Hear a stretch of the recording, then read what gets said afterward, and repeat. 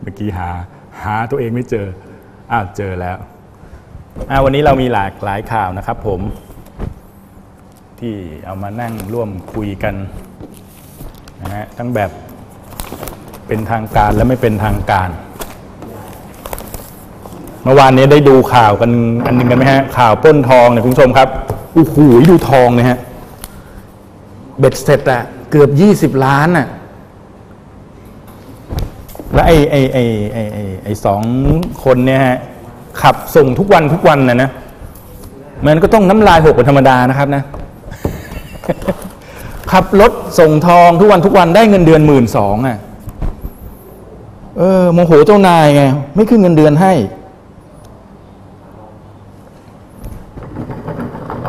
สิ้นปีเนี่ยนะครับ เวลาบริหารงานลูกน้องเนี่ยนะ จะหนึ่งเปอร์เซ็นสองเปอร์เซ็นสามเปอร์เซ็นเนี่ยต้องขึ้นนะฮะไม่ใช่ว่าไม่ขึ้นเงินเดือนให้ลูกน้องนะครับ แต่เจ้านาย ซื้อบ้านหลังใหญ่โตขับรถหรู ซื้อนาฬิกาแพง แต่เงินเดือนลูกน้องไม่ขึ้นเนี่ยระวังจะโดนลูกน้องมันป้นเอาอย่างเงี้ยครับเนี่ยฮะหนัก 910 บาทฮะแล้วตัดฉากก็ออกแนวติงตองนะครับ คนคนคนขับรถขี่รถไป แล้วปกติเนี่ยไปเส้นทางเดิมๆฮะแล้ววันนี้อยากป้น อยากโดนป้น ก็เปลี่ยนเส้นทางโอ้โหตำรวจมันก็รู้แล้วแค่นี้แบบวันนี้อยากป้น เปลี่ยนเส้นทางนี่ฮะเปลี่ยนเส้นทางป้นเอ้ยไม่ใช่เปลี่ยนเส้นทางขับรถ แล้วก็ให้เพื่อนขี่มอไซค์ไป แล้วก็ยิงยางเออนะขำฮะ ขำกิ้งเนี่ยผมนั่งอ่านแล้วก็แบบฮาตรึม คนหนึ่งบอกว่า อยากได้สตางค์ไปแต่งเมียครับแหม่นะแล้วมันก็จะอย่างว่านะจะไปว่าเขานะไอ้ไอ้ตอนทำมันไม่มันไม่คิดบ้างว่าว่า ถ้าเกิดตำรวจเขาจะเขาจะจับไม่ได้จริงเหรอเออ แม่จะไปแต่งสาวที่กำแพงเพชรครับ อีกคนหนึ่งบอกเงินเดือนหมื่นสองไม่พอยาไส้ชีวิตกำลังหนุ่มแน่นนะฮะเออ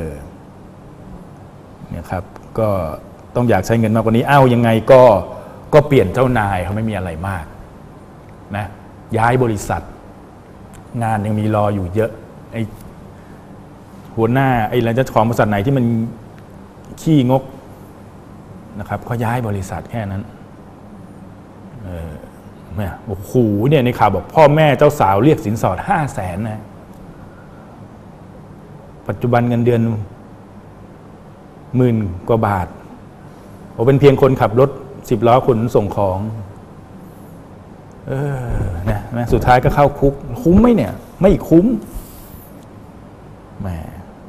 ทองขนาดนี้นะ ต้อง ต้องหนักแน่นมากนะเหมือนพนักงานธนาคารไอ้คดีสจล.เลยนะฮะจะเป็นผู้จัดการจะเป็น teller ที่รับฝากเงิน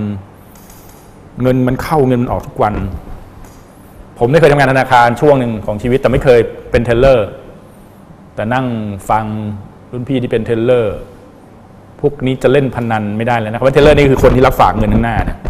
ไอ้คนที่รับฝากเงินข้างหน้านี่ไม่ใช่หมายถึงว่าคนที่จบเลยนะฮะคนที่เรียนจบใหม่ๆนี้ต้องเป็นคนเปิดบัญชีนะครับ แต่คนที่นั่งรับฝากเงินข้างหน้านะต้องเป็นคนที่ทำงานมาพอสมควรเออถึงจะไปนั่งตรงนั้นได้นะอ่าแล้ว มันก็มีเงินเข้าเงินออกทุกวัน ก็พอๆกับขนทองอะนะเหมือนคนขนรถขับรถขนเงินนะนะเออเพราะฉะนั้นคุณผู้ชมฮะเงินทองของคนอื่น อย่าไปเอา มันไม่ใช่เงินทองของเรา เอามาแล้วมันก็ร้อน ว่าแล้วก็มาดูอะไรสวยๆงามๆดีกว่า จริงๆ แล้วเรื่องเด่นที่สุดของวันนี้คือเรื่อง IS นะครับเขาเผาทั้งเป็นนักบินจอแดน แต่ใครๆเขาก็เอาไว้ข่าวแรกเราก็เลยเอาไว้ข่าวทีหลังเอาข่าวเพลิดเพลินเจริญใจเจริญตาก่อน นี่ ก็ยืมสำนักข่าวไทย จริงๆมันมีทุกเว็บอะรูปเนี้ยน้องคนนี้ฮะ ผู้ใหญ่บ้านน่ะโอ้โหไงอยากไปอยู่หมู่บ้านนี้ไหมหน้าจิ้มลิ้มพิมพ์เผามากฮะน่าจะเป็นคนที่ที่สวยที่สุดในบรรดาผู้ใหญ่บ้านของประเทศนี้แล้วครับเออเนี่ยแหมอะใครสนใจฮะย้ายสัมมนูประชากรไปด่วนโขนาดนั้นเลยนะ ไปอยู่เชียงใหม่กันเถิด นี่น้องเขาสามห้าแล้วนะ ถือว่าสามห้าหน้าตาได้จิ้มลิมพิมพ์เผาขนาดนี้ไม่ธรรมดานะฮะ ผู้ใหญ่บ้านบ้านสิริวัฒนานิเวศตำบลหนองหอยแหมชื่อตำบลก็น่าอยู่แล้ว ตัวเมืองเชียงใหม่ ชาวบ้านเรียกแม่หลวงกุ้งเออนะครับอ้าวอ้าวได้เงินเดือนเดือนละแปดพันเองนะเห็นไหม จบอะไรมาเนี่ยจบคหกรรมศาสตร์ เป็นผู้ใหญ่บ้านเห็นไหมทำงานสุจริตก็ได้ครับผมครับ เป็นผู้ใหญ่บ้าน ไม่ต้องไปป้นทอง เนี่ยโอ้ยหน้าตาดูนะนี่น่ารัก เดี๋ยวคนบอกว่าอ้าวทำไมล่ะคุณไปให้คุณค่ากับหน้าตาของใบหน้าของคน คุณทำไมไม่ดูเรื่องจิตใจภายในแม้แต่อยากจะบอกว่ามันก็เป็นอะไรที่ทำให้กระชุ่มกระชวยครับ นะฮะก็เหมือนผู้หญิงดูชาลีชับปุยอะไรเงี้ยผู้ชายเราก็ต้องดู ผู้ใหญ่บ้านสวยๆอย่างนี้แหละมาดูคลิปนี้กันหน่อยครับผม ขับรถขับลาคุณผู้ชมฮะระมัดระวังกันสักนิด ผมไม่ได้เป็นคนขี่มอเตอร์ไซค์นะเป็นคนขับรถ แต่ผมจะเจอเยอะมากก็คือรถแท็กซี่ที่เปิดประตูสูบบุหรี่ นะครับ แล้วก็โยนลงพื้นอย่างมอเตอร์ไซค์บางคันเนี่ยเขาสูบเขาโยนลงพื้นเนี่ยเขาจอดตรงไฟแดงเนี่ยเขายังเอาเท้าขยี้ให้มันดับแต่บางรถบางคันเนี่ย สูบเปิดเปิดกระจกสูบบุหรี่แล้วก็โยนลงพื้นคำถามคือว่าแล้วมันมันสมควรไหมจริงในรถเนี่ยมันมีที่ให้ดับนะบี้แล้วก็ทิ้งไว้ในรถได้นะแต่ทั้งนี้ทั้งนั้นถ้าคุณจะสูบจริงคุณจอดรถ อย่าขับรถไปสูบไปมันควันมันอาจจะกระทบกระเทือนคนอื่น มาดูคลิปนี้กันฮะ เหตุการณ์นี้เนี่ยนะ ถ้าหากว่ามอไซค์ใจร้อนนะ มีหวังเราได้เห็น มวยแต่มอไซค์ใจเย็น ต้องชื่นชมมอเตอร์ไซค์ฮะใจเย็นมาก นี่กล้องมันมาจากรถมอเตอร์ไซค์นะครับนะฮะดูรถคันนี้ฮะ Honda Civic คันนี้เนี่ยเปิดกระจกสูบบุหรี่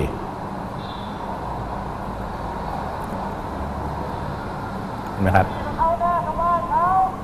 นี่ มอเตอร์ไซค์เขาก็เตือนนะฮะบุหรี่มันเข้าหน้าชาวบ้านเขาดูก็ดูในรถสิเขาก็ตะโกนเตือนไป แล้วก็ไม่มีอะไรเกิดขึ้นนะครับเขาก็ยังขี่รถเป็นปกติ แต่เดี๋ยวดูรถซีวิกมันคงกะพยายามขับตามมอเตอร์ไซคันนี้แหละฮะคนเราบางคนนี่นี่ฮะนี่โยนบุหรี่ใส่ครับ แล้วก็บอกว่าครูครูไม่ช้าอะไรอะไรเงี้ยนะฮะลงมาเลยฮะ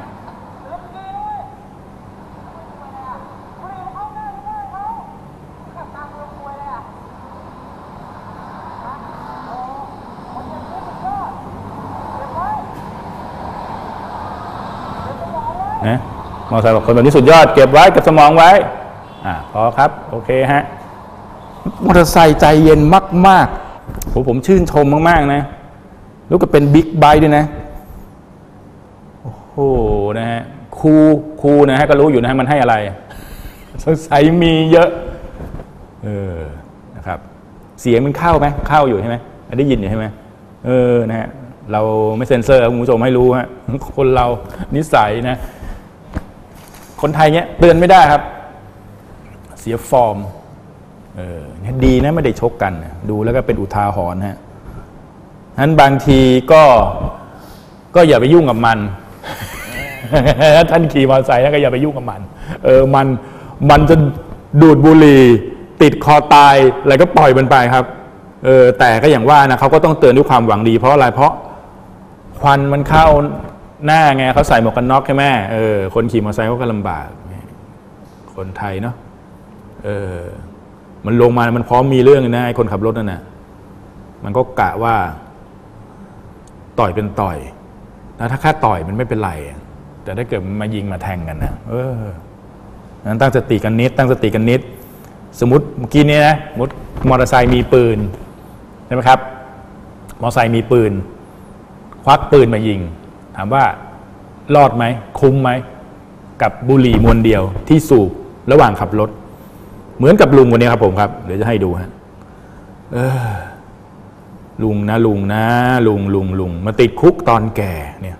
พ่อเท่าเตือนโจส่งเสียงดัง โจปรีทำร้ายคว้าปืนยิงสวนดับหนึ่งเนี่ยลุงหกสิบแล้ว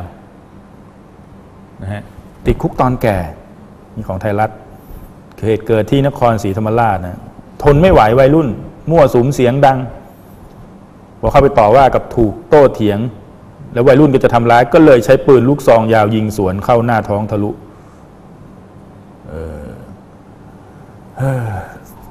คนหนึ่งก็แก่บ้านปลายชีวิตแทนที่จะอยู่กับลูกกับหลาน อีกคนหนึ่งก็ยังเด็กอายุ 20 แทนที่จะได้มีชีวิตอยู่ดูโลกต่อไปอีกหลายสิบปี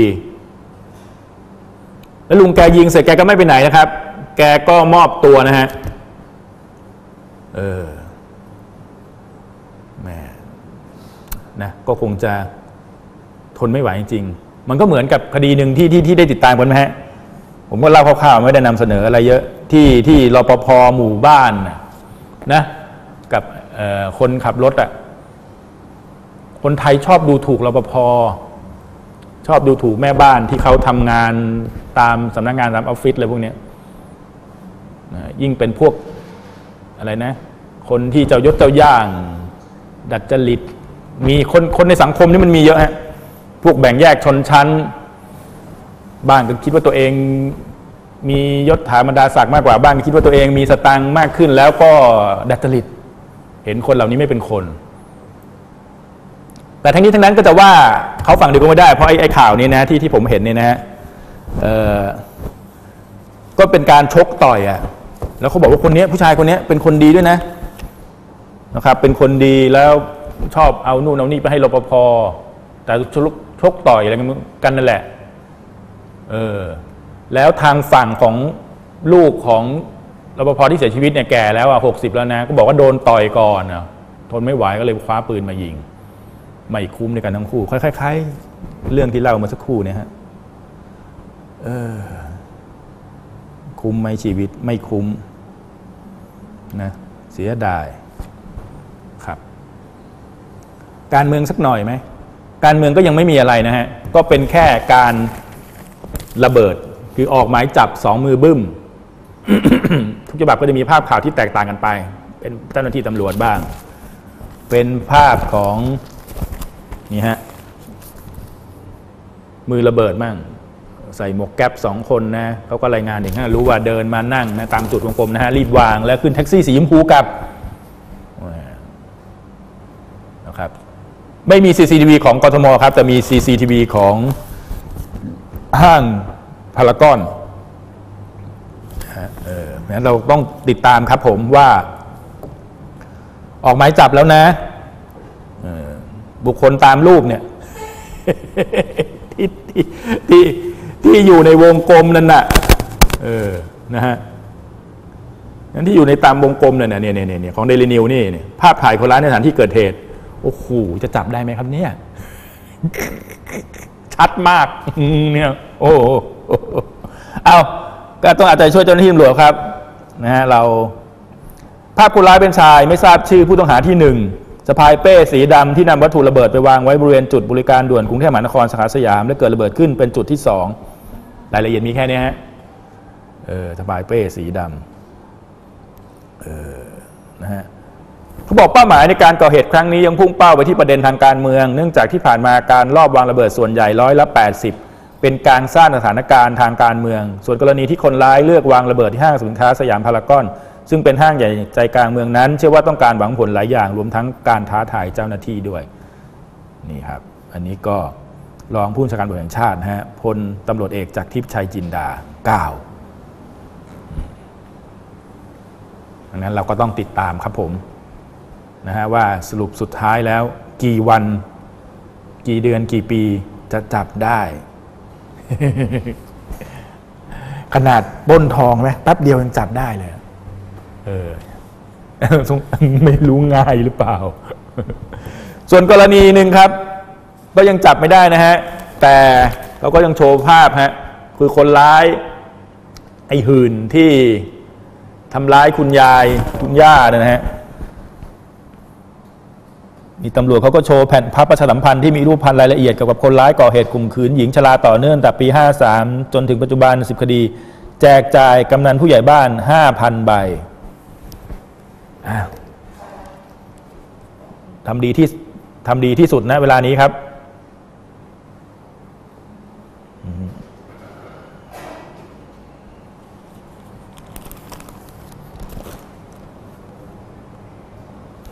ยังไงก็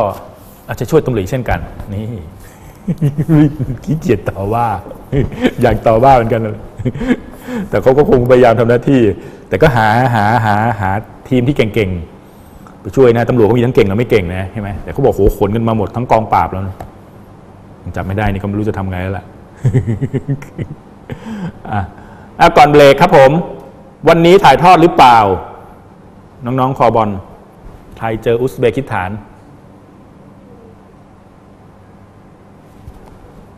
นะฮะทุ่มหนึ่งหรือยังไงเนี่ยครับ ทุ่มหนึ่งฮะ สนามเฉลิมพระเกียรติ 80พรรษา โคราชนู้นเออไม่รู้ช่องเจ็ดถ่ายไหมนะครับ นัดแรกชนะมาสามหนึ่ง เกมนี้ซิโก้ก็บอกเราหวังสามคะแนน สกอร์ที่คาดหมายนะครับสองหนึ่งนี่ขนาดนั้นเลยคิดว่าเราน่าจะชนะ แล้วแล้วคนที่โหดๆอะที่ต่อยนักเตะเกาหลีเหนือ ก็ไม่ได้ลงนะ ข่าวว่างี้นะเออนะฮะผู้การกีฬาต้องเอาเรื่องเอาเรื่องกีฬามั่งสลับสลับไปแมนยูฮะฝันถึงแชมป์เอฟเอครับ นี่ เอ้าเดี๋ยวหาว่าอ่านเอง นี่เขาเขียนจริงๆโพสต์ทูเดย์ผีผีฝัน ผีฝันถึงแชมป์เอฟเอครับโอ้โหเป็นไงล่ะหลังจากที่นาทีแรกโดนชนเสา แต่หลังจากนั้นนะครับ ก็ชนะแคมบริดจ์3-0นะฮะฮวนมาต้ามาร์กอสโรโฮเจมส์ วิลสันเฝ้ากัน ฟันเกา โค้ดแมนยูกุนซือชาวดัตบอก ตอนนี้เรามีโอกาสจริง ๆ แล้วทำไมนั่นเหรอเพราะเราคือทีมอันดับสูงสุดที่เหลืออยู่ใน FA ครับ ผมไม่ใช่นักพนัน แต่แน่นอน ผมคิดว่าทีมอันดับดีที่สุดมีความเป็นไปได้มากกว่าที่จะคว้าแชมป์มากกว่าทีมต่ำกว่าอ้าวลิวอร์พูลว่าไง เอาเอาตัวเองให้รอดก่อนนะครับเออนี่เดี๋ยวเจอกันเดี๋ยวเจอกันโอ้โหขนาดนั้นนะฮะเออก็ว่ากันไปันกาวนี่ต้องเป็นระผู้จัดการทีมนะวิธีเรียกเขาเรียกต่างกันนะบุนเดสลีกาเนี่ยเขาจะเรียกเทรนเนอร์คนไทยเรียกโค้ชผู้จัดการทีมทีมไทยนี่ไม่ใช่นะ ก็จะเป็นพวกเหมือนคนรวยๆอะไรเงี้ยแต่ผู้จัดการทีมของอังกฤษเขาก็เป็นเหมือนกุนซือเขาเรียกไม่เหมือนกันนะ เออนะฮะอย่างบุนเดสลิกาเนี่ย Bundestrainer นะเพราะฉะนั้นบางทีมีน้องผู้หญิงคนนี้เขาเพิ่งดูบอลเขางงเขามาถาม บอกทำไมซิโก้ไม่ได้เป็นผู้จัดการทีม เออเนาะเออประเทศไทยซิโก้เป็นโค้ดแต่อังกฤษ อะไรนะรอยฮอดจ์สันผู้จัดการทีม เออ แต่คนไทยทีมไทยผู้จัดการทีมใครก็ไม่รู้ครับ ลุงอะไรก็ไม่รู้นะคนหนึ่งอะเออวิธีเรียกก็แตกต่างกันนะฮะอย่างบอลสเปนนี่ก็เป็นผู้จัดการทีมเหมือนกันนะ เออ นะฮะ อะมาว่ากันต่อ แล้วอีกสามนาทีจะเบรก มีเรื่องอะไรอีก เรื่อง IS นี่เดี๋ยวไว้ช่วงหน้ากันนะครับแหมเผาเลยฮะเผาทั้งเป็นเลยใจร้ายมาก ๆ เออเอาเราเอาข่าวเบาๆก่อนละกันสาสุเก้าหึงแฟนทอมระแวงมีหญิงอื่น เบามากข่าวนี้ เออถ้าถ้าแค่นี้แล้วเป็นข่าวแล้วมาอ่านนี่มันก็กระไรอยู่นะฮะสาสิบเก้าหึงแฟนทอมระแวงมีหญิงอื่น ทะเลาะกันประชด โดดตึก หัวมง พื้นอาการโคม่าโอ้โหโอ้น้อง อายุสิบเก้าพ่อแม่ไปไหนลูกเอ้ยพ่อแม่ไปไหน มาอยู่กับทอมทะเลาะกัน กลัวแฟน กลัวทอมมีหญิงอื่น โอ้เนี่ยเขาบอกว่ามีแฟนอย่างนี้ยน่ากลัวนะครับ เพราะอะไรรู้ไหมฮะ เพราะว่ามันจะมีสองแบบ แบบหนึ่งคือขู่ผู้หญิงชอบขู่เนี่ยเยอะเนี่ยจะโดดนะ จะโดดนะ กับนี่จะเอามีดกรีดเขามันก็จะฮิตสองอย่าง ตั้งแต่ตอนผมวัยรุ่นจนบัดนาวเนี่ยจนผมขี้เกียจเป็นวัยรุ่นแล้วแก่แล้วเนี่ยนะก็ยังเหมือนเดิมกรีดข้อมือเนี่ยนะฮะ ไม่เดี๋ยวจะกีดข้อมือเพราะเคยไปช่วยห้ามทับ ช่วยรุ่นลูกลง ลูกเพื่อน จะกีดข้อมือทะเลาะกับแฟนเฮ้อแล้วเพื่อนเขาไม่มีเวลาที่จะดูแลลูกฮะอยู่กับคนละจังหวัด อันนี้ก็เหมือนกัน ทะเลาะกันเสร็จ แล้วไม่จะโดดนะ โดดเลย ไม่คิดอะไรเลยเนี่ย ดีนะไม่ตาย แต่ศีรษะฟาดพื้นบาดเจ็บสาหัส แต่ตำรวจก็กำลังเช็คนะฮะ ว่าโดดเองจริงหรือเปล่า เออ หรือว่าทอมผัก เออนี่ก็เป็นข่าวเบาๆข่าวชาวบ้านนะเป็นอุทาหรณ์กัน เตือนกันนะครับ มีลูกมีหลานใจะเย็นๆอย่าพึ่ง ใจร้อน โอ้สงสารพ่อแม่นะกว่าจะคลอดออกมานะ เลี้ยงออกมายันสิบกว่าไปอยู่กับทอม สุดท้ายโดดตึกซะนี่แหมนะฮะอีกอันหนึ่งก็เป็นเรื่องของภัยสังคมเหมือนกัน หนุ่มหลอกเป็นโมเดลลิ่ง บังคับสาวสิบหกแก้ผ้าถ่ายรูป นี่ขอบพระคุณข่าวสดนะฮะ เออไอคนพวกนี้นี่นี่เขาดูหน้าตาเลยนะ จะได้จำกันไว้ ไอ้ไม่ใช่ดินั่มันท้ายทอยพี่ นี่ หน้าอย่างเงี้ยมันมีเยอะนะไอไอไอเรื่องแบบนี้แล้วมีตลอดนะ เด็กก็อยากเข้าวงการกันตลอดเหมือนกัน เออนะฮะแล้วสุดท้ายมักจะพูดว่า ผู้หญิงสมยอม แต่ก็ต้องติดคุกก่อน มันก็เหมือนเคสพิตตี้สองคนที่ผ่านมาเนี่ยตอนนี้ไม่รู้เลยคดีสรุปยังไงเนี่ยพราะผู้ชายก็บอกว่าผู้หญิงสมยอมใช่ไหมเออผู้หญิงก็บอกว่า ผู้ชายใช้กำลังข่มขืน แล้วก็จะไปถ่ายคลิป เอาไปลงอะไรอินเทอร์เน็ตเลยนะแต่อันเนี้ยนะก็หลอกอันนี้ไอ้นี่ไอหมอเนี่ยอายุสามสามแล้วนะฮะหลอกสาวสิบหกไปที่อพาร์ตเมนต์แถวปทุมธานี แล้วก็จะทำไม่ดีไม่ร้าย เอาเครื่องช็อตไฟฟ้าครับไอ้นี่แม่งกันนะจริง ๆ เลยนะเครื่องช็อตไฟฟ้านี่เขามีไว้ให้ผู้หญิงพกป้องกันในพวกนี้ แต่อันนี้เอาเครื่องช็อตไฟฟ้าช็อตผู้หญิง เออบังคับให้ถอดเสื้อแล้วผู้หญิงก็ร้องโวยวายดีนะข้อข้อดีของข่าวนี้คืออะไรฮะ คือคนข้างห้องมันช่วยเป็นหูเป็นตา เหมือนอย่างเมื่อวานเนี้ยที่เราคุยกันนะเรื่องอะไรเรื่องหนึ่งเนี่ยจำไม่ได้แล้วคุณผู้ชมฮะที่ คนแถวๆนั้นน่ะช่วยเป็นหูเป็นตา พอเห็นอะไรผิดปกติ แล้วแจ้งตำรวจนะอันนี้ก็เหมือนกันนะครับบางทีเราอย่ารู้สึกอย่างว่าธุระไม่ใช่บางทีถ้าเราแจ้งแล้วแล้วแล้วไอ้ไอ้พวกนี้มันไม่รู้หรอกว่าใครเป็นคนแจ้ง